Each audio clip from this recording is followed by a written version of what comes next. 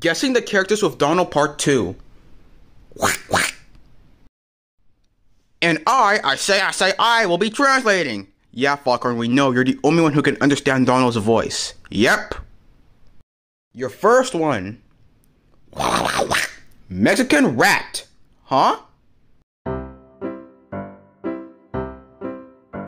This one shouldn't be that hard.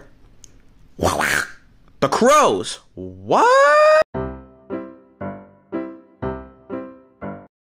Come on now, this is getting ridiculous. What? Cheese! Are you kidding? Donald, if you don't get this one, I'm done. Donald, it's not that hard. I don't know. What are you talking about?